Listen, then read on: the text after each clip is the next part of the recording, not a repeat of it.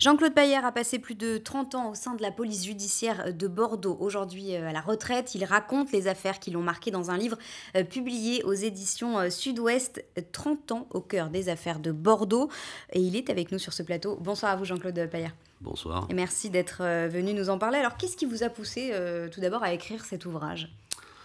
Écoutez, au long de ma carrière, effectivement, j'étais amené à compiler un certain nombre de documents dont je, ne savais que faire. Et euh, au bout, euh, étant en position de retraite, j'ai fait quelques recherches. J'ai rencontré un certain nombre de journalistes que j'avais eu l'occasion de croiser à multiples reprises au cours de ma carrière bordelaise. Et l'un d'entre eux m'a proposé éventuellement de penser à un livre. Et c'est ainsi que l'idée euh, est née. Je me suis quand même effectivement gratté la tête parce que je n'étais pas certain du tout d'avoir le talent nécessaire pour écrire autre chose que des procès-verbaux. Finalement, vous êtes, vous êtes plus l'exercice vous a plu, vous êtes prêté au jeu. Voilà, l'idée a cheminé et je crois que ça aboutit euh, effectivement à un livre qui contient des choses euh, relativement intéressantes et qui collent à la réalité de la police judiciaire telle qu'elle a été vécue euh, de l'intérieur par moi-même et par d'autres pendant 30 ans. Alors c'est vrai qu'on ne connaît pas vraiment Bordeaux pour, euh, pour ces histoires criminelles. Hein. Ce sont euh, des, affaires que vous racontez qui sont euh, bien loin de, de la quiétude pour laquelle Bordeaux est réputé. Absolument. Enfin, Bordeaux, nul l'ignore, est surnommé la Belle Endormie, n'est-ce pas? Donc ça dit déjà pas mal de choses. Pendant la guerre, enfin, n'y revenons pas, mais il y a eu effectivement un dispositif qui euh, était euh, peut-être euh, un peu différent de ce qui se passait dans d'autres endroits de la France. Le chabanisme est arrivé avec ses hommes, avec sa mm. police, avec Christian Campé, qui est un homme qui a régné pendant, enfin régné, qui, a, qui, qui, a dirigé la police bordelaise pendant une trentaine d'années, avec ses méthodes à lui. Je crois que le, le, livre le raconte n'est-ce pas? Voilà comment c'était assez particulier si on compare euh, à, d'autres villes de France. il, y a, une spécificité bordelaise. Euh. Oui, absolument. Comment on peut arriver à euh, imaginer qu'il y ait une certaine originalité ou un certain particularisme bordelais dans la gestion, peut-être pendant un certain nombre d'années, et de longues années même, du fait criminel, lié comment dirais-je, à une sociologie de la ville aussi qui est assez particulière. Il n'y a pas beaucoup de difficultés. Néanmoins, néanmoins euh, c'est ce que j'ai eu à constater avec mes mm. collègues.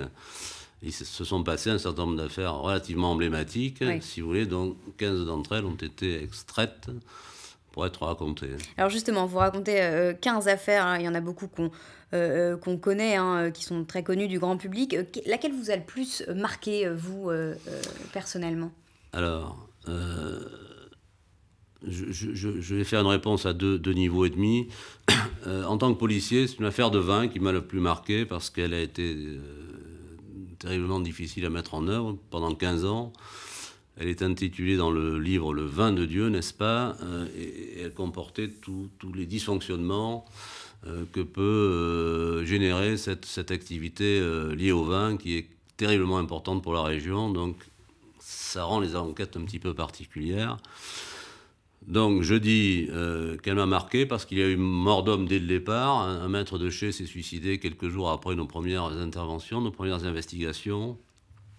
Et 15 ans plus tard, si vous voulez, ont été rattrapés, en quelque sorte, si vous me permettez l'expression, par la patrouille, que des gens un peu secondaires dans le dossier. Et tous ceux qui étaient responsables du mal fait au vin euh, ne l'ont pas été, en particulier euh, le premier d'entre eux, qui s'appelait Roger Gins, qui, atteint par la maladie et puis l'âge, n'a jamais payé finalement, euh, comment dirais-je, le prix des, dizaines d'années qu'il a passé à, comment dirais-je, organiser des systèmes quasi mafieux dans le, dans le monde du vin bordelais, en rachat de sociétés, le vin était exporté en Belgique, trafiqué chimiquement, etc. Des dizaines de millions sont partis dans la nature, heureusement pas chez nous, mais peut-être à l'étranger. Et ce livre n'a sans doute pas trouvé la sanction, c'est pas moi qui le dis, hein. je, veux dire, c'est assez souvent reconnu, la sanction peut-être judiciaire qu'il aurait dû connaître. Hmm. Euh, c'est vrai que justement, c'est quelque chose qui, est assez marquant et, que l'opinion publique a peut-être du mal à comprendre, c'est la durée de, de, ces affaires. On a l'impression que parfois, euh, euh, les, criminels mettent vraiment longtemps avant d'être d'être condamné, en tout cas, d'être jugé. comment ça se fait que ça dure aussi longtemps alors c'est une question un peu, un peu, un peu délicate, hein, parce que bon, il y, a le, y a le temps, enfin on le sait, hein, le temps, c'est quelque chose qui, qui, ressort assez souvent, y compris sur les, affaires actuelles. il y a le temps policier, il y a le temps de la justice. Hein, on sait maintenant que le temps euh, médiatique est plus rapide que tout, que tout le reste réuni. Bon, de là à ce que les affaires durent aussi longtemps, hein, mais écoutez, euh, c'est lié à la complexité des dossiers en premier lieu, et puis euh, après peut-être qu'il y a des, des, comment dirais-je, des raisons qui font que il convient de différer éventuellement telle mm. ou telle investigation. Enfin, je ne vais pas trahir grand-chose en disant que le vin, il faut le protéger. Donc, euh, enfin, il ne s'agit pas de ça. Hein. Les, affaires ont été faites. Mais bon, ça explique peut-être un, certain rythme qui, qui, n'est pas celui euh, qu'on pourrait attendre euh, dans d'autres circonstances et dans d'autres affaires, telles que les affaires criminelles, où là, effectivement, il convient d'aller vite et fort. Quoi. votre livre commence avec l'affaire Papon et se termine avec l'affaire Mohamed Merah et la tuerie de Toulouse. Euh, deux affaires assez, assez emblématiques, hein, on peut le dire. Quel regard est-ce que vous, vous portez sur, euh, sur les évolutions des affaires criminelles entre le début de votre carrière et, et la fin? L'affaire Papon est, est, par elle-même une affaire hors norme, hein, n'est-ce pas? Il y a 15 ans de procédure là aussi. 60 ans, un, un, homme est jugé 60 ans après les faits qu'il a commis, donc ça n'existe pas dans la République, ceci et six mois de procès euh, qui ont réuni toutes les vedettes, enfin, euh, entre guillemets, euh, de la période, de la guerre et de la collaboration. Et un jour, il m'a été donné, bon, personnellement, d'aller avec d'autres, bien évidemment, interpeller cet homme à la frontière suisse, puisqu'il s'était échappé avec un faux passeport et un faux nom.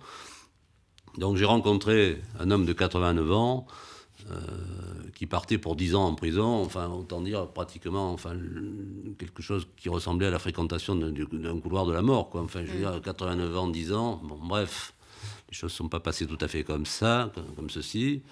Si on exclut cette, cette affaire, encore une fois, qui sort totalement euh, de l'ordinaire, euh, l'évolution que j'ai vue, moi, dans, mon métier avec mes collègues, c'est effectivement passer d'une police un peu à la papa, à la maigret, si vous voulez, pour faire simple, à une police de plus en plus sophistiquée, dans une ville effectivement euh, un peu atypique du point de vue de la criminalité, mais qui néanmoins rejoint petit à petit euh, ce qui peut se passer aussi ailleurs en France. Hein. on, on, le voit au niveau de la brutalité aujourd'hui de certains événements. Euh, en tout cas, je n'étais plus à l'instant où Mohamed Merah a été arrêté. Mais là, on voit quand même une évolution assez nette. Il y avait un, lourd, euh, comment dirais-je, euh, une, lourde activité de proxénétisme, de choses comme ça à Bordeaux qui tempérait tout le reste. Et petit à petit, les choses ont changé. Braqueurs ont disparu, etc. On est arrivé à des phénomènes euh, liées à la drogue, notamment ces dernières années, et, liées également au proxénétisme avec les, les, mafias, entre guillemets, de l'Est et du, ou de l'Afrique. Voilà, enfin, tout ceci a fait évoluer Bordeaux, et petit à petit, Bordeaux rejoint le peloton probablement des métropoles et des grandes métropoles, et on pourrait, euh, à quelques égards, le regretter. Merci beaucoup Jean-Claude Paillère pour en savoir plus. Euh, je vous invite à lire 30 euh, ans au cœur des affaires euh, de Bordeaux qui vient donc de sortir aux éditions Sud-Ouest, un livre que vous avez écrit où vous racontez donc ces 30 années que vous avez passées au sein de la, police judiciaire. Merci d'être venu sur notre plateau nous en parler. Vous restez avec nous sur TV7, on se retrouve dans un instant pour un nouveau journal.